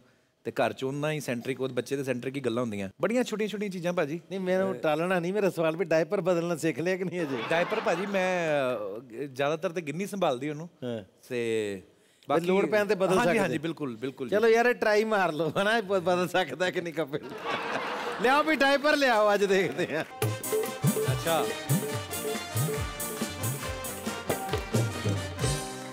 ਵਾਹ ਆ ਨਿਆਣਾ ਜਿਹੜਾ ਹੱਸਣ ਡਿਆ ਤੇ ਮੇਰਾ ਲੱਗਣ ਡਿਆ ਮੈਂ ਕਿਹਾ ਲਓ ਜੀ ਭਾਜੀ ਮੈਂ ਤੁਹਾਨੂੰ ਬੰਨ ਕੇ ਦਿਖਾਣਾ डायपर पहले डायपर लें ਆਹਾ उसको ऐसे बिछाएं उसके बाद में अपने बच्चे को ऐसे लिटाएं और फिर ऐसे करें और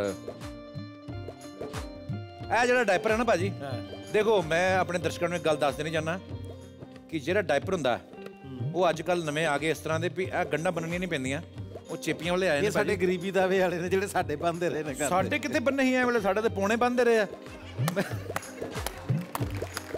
ਤੇ ਇਹ ਪੁਰਾਣੇ ਡਾਇਪਰ ਨੇ ਇਹ ਦੇਖੋ ਜੀ ਬੱਚੇ ਨੂੰ ਮੈਂ ਡਾਇਪਰ ਦਿੱਤਾ ਜੀ ਬੰਨ। ਹਾਏ ਹਾਏ ਜੀਓ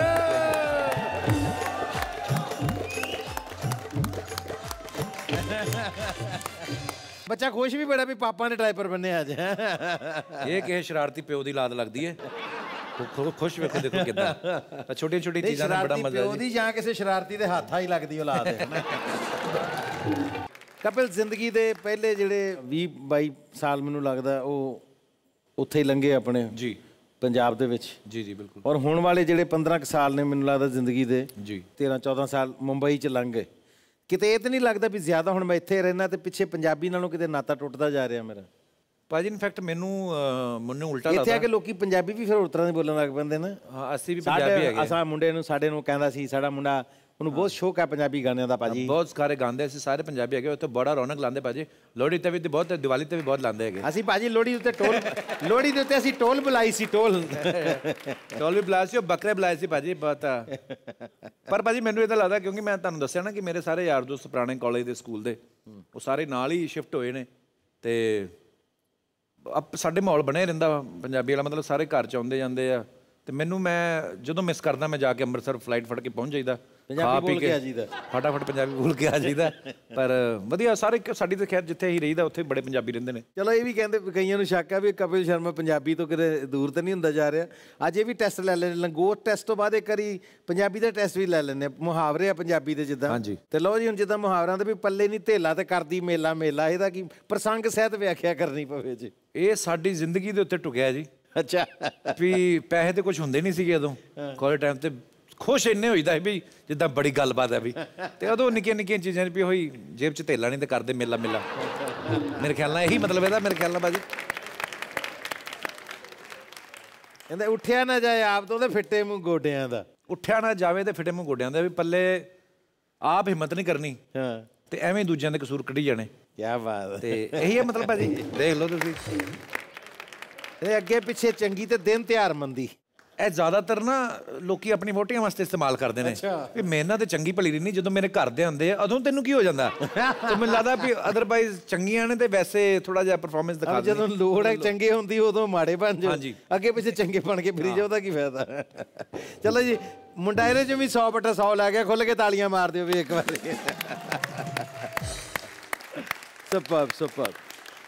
ਤੇ ਹੁਣ ਆਪਾਂ ਜਦੋਂ ਕਪਿਲ ਸ਼ਰਮਾ ਜਦੋਂ ਪਰਫਾਰਮ ਕਰਦੇ ਹੁੰਦੇ ਨੇ ਤੇ ਸਾਹਮਣੇ ਸੋਫੇ ਤੇ ਬਹਿ ਕੇ ਨਵਜੋਤ ਸਿੰਘ ਸਿੱਧੂ ਭਾਜੀ ਜਾਂ ਅਰਚਨਾ ਪੂਰਨ ਸਿੰਘ ਹੁਣੀ ਬਹਿ ਕੇ ਇੰਜੋਏ ਕਰ ਰਹੇ ਹੁੰਦੇ ਸੋਫੇ ਤੇ ਬਹਿ ਕੇ। ਕਦੇ ਮਨ ਚ ਆਉਂਦਾ ਹੁੰਦਾ ਯਾਰ ਅਸੀਂ ਜ਼ੋਰ ਲਾਣੇ ਸਿਰ ਸਾਹਮਣੇ ਬਹਿ ਕੇ ਹੱਸੀ ਜਾਂਦੇ ਨੇ। ਦੇਖ ਲਓ ਕਿ ਕੀ ਕਿਸਮਤ ਉਹਨਾਂ ਦੀ। ਕਦੀ ਮਨ ਚ ਆਇਆ ਵੀ ਮੈਂ ਵੀ ਸਾਹਮਣੇ ਬੈਠਾ ਹਾਂ ਔਰ ਇੱਧਰ ਪਰਫਾਰਮੈਂਸ ਹੋ ਰਹੀ ਹੋਵੇ। ਬੜਾ ਮਨ ਕਰਦਾ ਭਾਜੀ। ਅੱਜ ਮੈਂ ਸ਼ੌਕ ਪੂਰਾ ਕਰ ਦਈਏ ਚਲੋ ਜੀ। ਆਪਾਂ ਸਾਹਮਣੇ ਬਹਿ ਕੇ ਦੇਖਦੇ ਹਾਂ ਹੈ ਜੀ। ਪ੍ਰੋਗਰਾਮ। ਤੇ ਦੇਖੋ ਮੇਰੇ ਵਧੀਆ ਐਕਟਿੰਗ ਅਕੈਡਮੀ ਦੇ ਬੱਚੇ ਤੁਹਾਡੇ ਲਈ ਕੀ ਤਿਆਰ ਕਰਕੇ ਲਿਆਏ। ਕੀ ਬਾਤ ਹੈ, ਚਲੋ ਜੀ।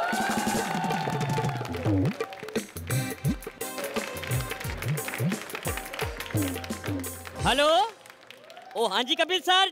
ਸਰ, ਤੁਸੀਂ ਟੈਨਸ਼ਨ ਨਾ ਲਓ, ਰਿਸੈਪਸ਼ਨ ਦੀ ਪੂਰੀ ਤਿਆਰੀ ਹੈ ਜੀ। ਸਰ ਜੀ, ਸਿਕਿਉਰਿਟੀ ਪੂਰੀ ਟਾਈਟ ਹੈ ਉਹ 6 ਫੁੱਟ ਤੋਂ ਛੋਟਾ ਬੰਦਾ ਮੈਂ ਰੱਖਿਆ ਹੀ ਕੋਈ ਨਹੀਂ। ਜਿਨ੍ਹਾਂ ਦੇ ਲਿਸਟ 'ਚ ਨਾਮ ਹੈਗੇ, ਭਾਜੀ ਉਹੀ ਅੰਦਰ ਜਾਣਗੇ, ਟੈਨਸ਼ਨ ਨਹੀਂ ਆਣੀ ਤੁਸੀਂ। ਤੁਸੀਂ ਚਿੱਲ ਕਰੋ ਸਰ, ਕੋਈ ਗੱਲ ਨਹੀਂ ਓਕੇ ਓਕੇ। ਆਮ ਬੰਦਾ ਨਹੀਂ ਹੈਗਾ ਮੈਂ।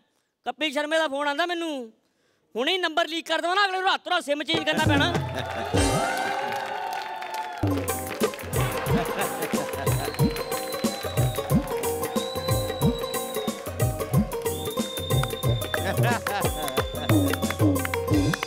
ਹੋਕੋ ਤਾਲੀ ਵੀ ਖਟਾਕ ਉਹ ਬਾਰੀ ਬਰਸੀ ਖਟਣ ਗਿਆ ਸੀ, ਖਟ ਕੇ ਲਿਆਂਦਾ ਬਾਜਾ। ਉਹ ਬਾਰੀ ਬਰਸੀ ਖਟਣ ਗਿਆ ਸੀ, ਖਟ ਕੇ ਲਿਆਂਦਾ ਬਾਜਾ। ਇੱਕ ਵਾਰ ਆਜਾ ਆਜਾ ਆਜਾ ਆਜਾ ਆਜਾ ਇੱਕ ਵਾਰ ਆਜਾ ਆਜਾ ਆਜਾ ਆਜਾ ਹੋਕੋ ਦਾ ਫੋਨ ਆ ਗਿਆ ਵੀ ਖੜ ਜਾ ਹੈਲੋ, ਹਾਂ, ਸਿੱਧੂ ਸਪੀਕਿੰਗ ਹਾਂਜੀ ਕੱਪਲ ਦੇ ਸ਼ੋਅ 'ਚ ਕਿਉਂ ਨਹੀਂ ਆਂਦਾ? ਤੂੰ ਪੁੱਛ ਰਿਹਾ ਕਿ ਮੈਨੂੰ ਸਾੜ ਰਿਹਾ ਉਹ? ਤੇਰਾ ਮੈਂ ਨੰਬਰ ਨੋਟ ਕਰ ਲਿਆ ਬੰਦਾ ਬਣ ਜਾ ਪਹੁੰਚਿਆ ਲੈ ਤੇਰੇ ਮੈਂ ਗੱਟੇ ਭੰਨੇ ਲੈ ਖੜ ਜਾ ਤੈਨੂੰ। ਹੋਰ ਬਈ ਛੋਟੂ ਠੀਕ ਆ? ਹੈਲੋ ਹਾਂਜੀ ਹੈਲੋ ਸਰਦਾਰ ਜੀ ਕਿੱਧਰ ਮੂੰਹ ਚੱਕਿਆ? ਕਿੱਧਰ?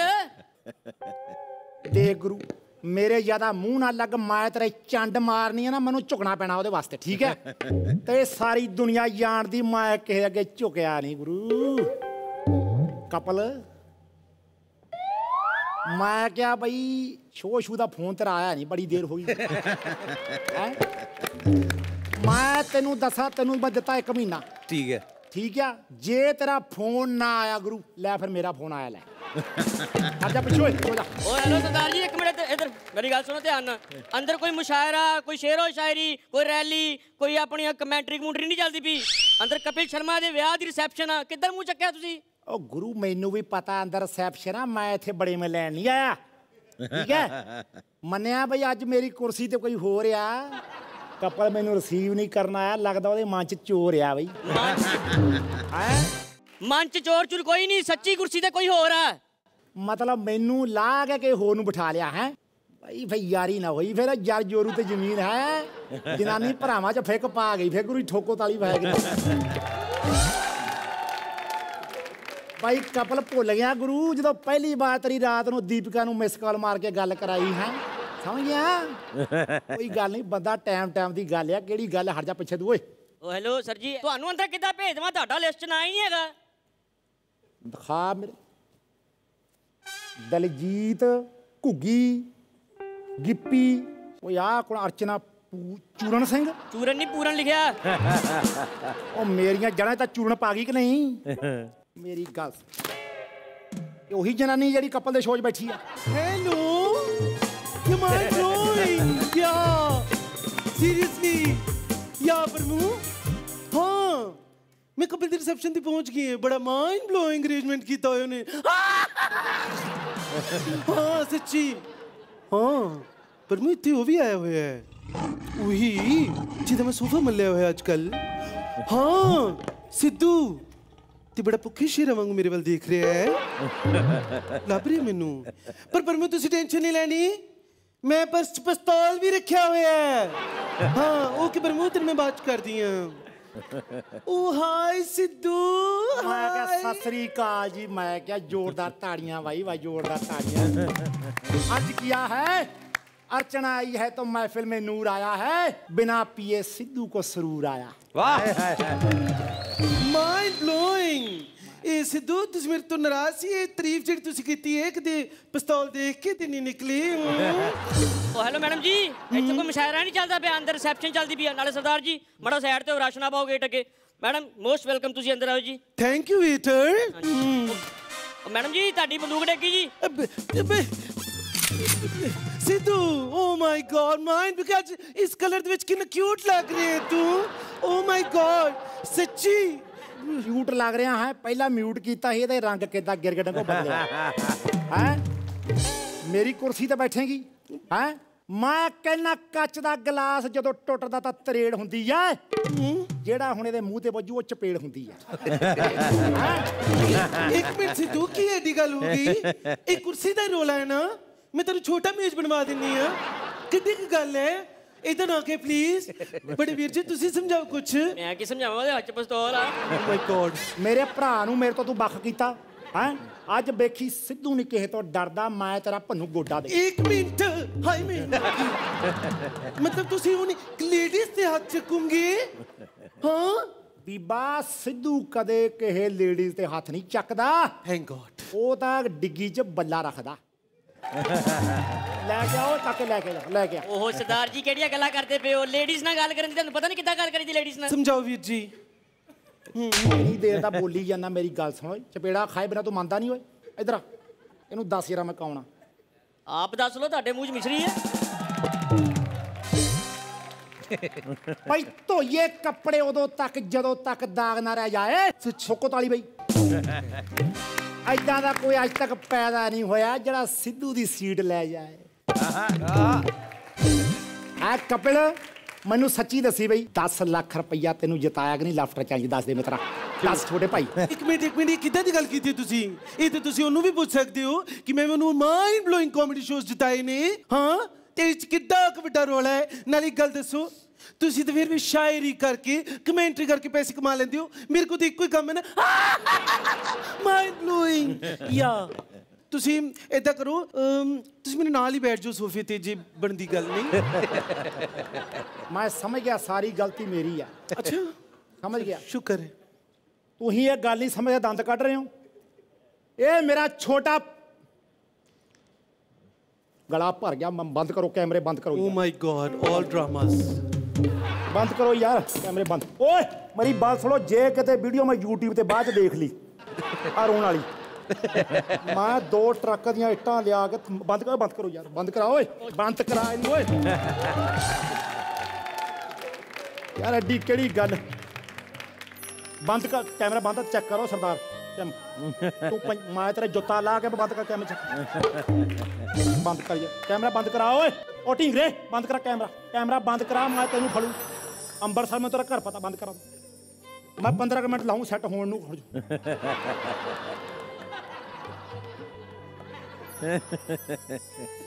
ਬੰਦਾ ਹੋ ਜਾਂਦਾ। ਕੋਈ ਨਹੀਂ। ਆ ਕੋਈ ਨਹੀਂ ਕੋਈ ਨਹੀਂ, ਹੋ ਜਾਂਦਾ।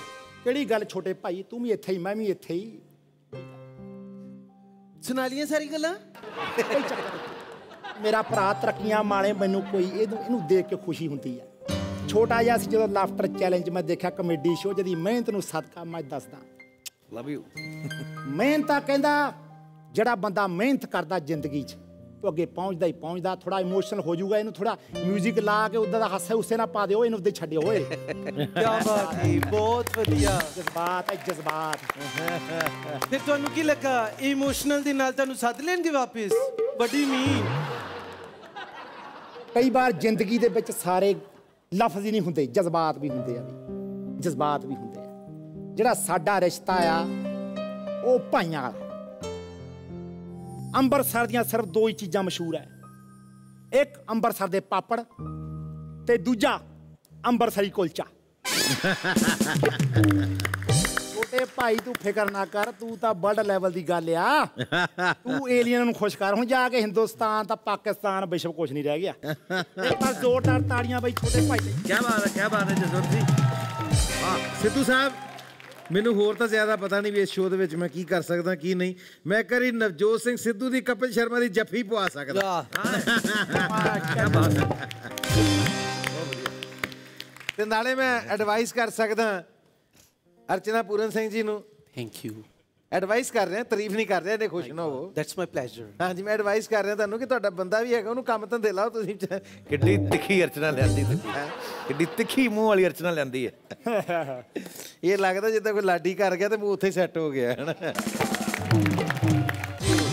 अर्चना आई है तो महफिल में नूर आया है बिना पिए सिद्धू को सरूर आया ਵਾਹ ਭਾਈ ਧੋਈਏ ਕੱਪੜੇ ਉਦੋਂ ਤੱਕ ਜਦੋਂ ਤੱਕ ਦਾਗ ਨਾ ਰਹਿ ਜਾਏ ਸੁੱਕੋ ਤਾਲੀ ਬਈ ਐਦਾਂ ਦਾ ਕੋਈ ਅੱਜ ਤੱਕ ਪੈਦਾ ਨਹੀਂ ਹੋਇਆ ਜਿਹੜਾ ਸਿੱਧੂ ਦੀ ਸੀਟ ਲੈ ਜਾਏ ਅਬ ਮੈਨੂੰ ਬਹੁਤ ਚੰਗਾ ਲੱਗ ਰਿਹਾ ਕਿ ਸਾਡੇ ਪਹਿਲੇ ਐਪੀਸੋਡ ਦੇ ਵਿੱਚ ਹੀ ਕਪਿਲ ਸ਼ਰਮਾ ਹੁਣੀ ਸਾਡੇ ਨਾਲ ਆਏ, ਸਾਨੂੰ ਜੁਆਇਨ ਕੀਤਾ ਔਰ ਤੁਸੀਂ ਸਾਰੇ ਇੰਜੋਏ ਕਰ ਰਹੇ ਹੋ ਸਾਡਾ ਸ਼ੋਅ ਹੱਸਦਿਆਂ ਦੇ ਘਰ ਵਸਦੇ co powered by GBP creating landmarks and special partner Garnier black naturals ਤੇ ਮੈਨੂੰ ਲੱਗਦਾ ਜੇ ਅਸੀਂ ਸ਼ੋਅ ਨੂੰ ਸਮ ਅਪ ਕਰਨਾ ਤੇ ਕਿਉਂ ਨਾ ਕਪਿਲ ਸ਼ਰਮਾ ਦੇ ਕਿਸੇ ਬੜੇ ਖੂਬਸੂਰਤ ਗੀਤ ਦੇ ਨਾਲ ਸਮ ਅਪ ਕਰੀਏ ਸ਼ੋਅ ਨੂੰ।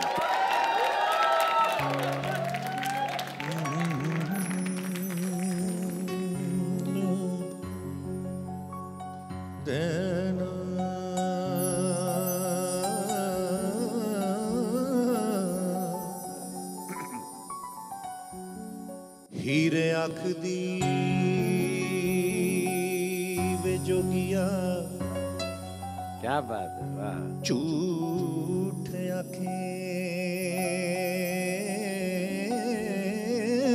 ਵਾਹ ਵਾਹ ਵਾਹ ਤੇ ਕੌਣ ਰੁੱਠੜੇ ਯਾਰ ਮਨਾਵਦਾਈ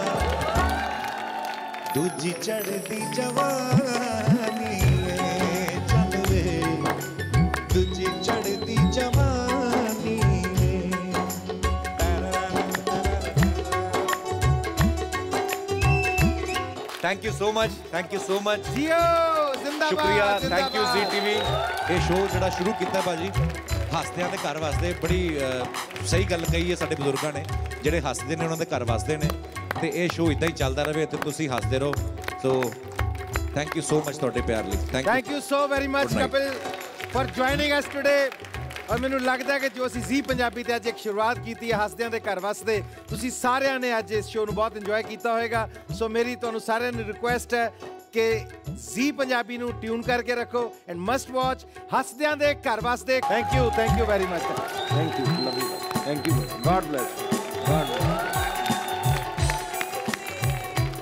enter ਬਹੁਤ ਜ਼ਬਰਦਸਤ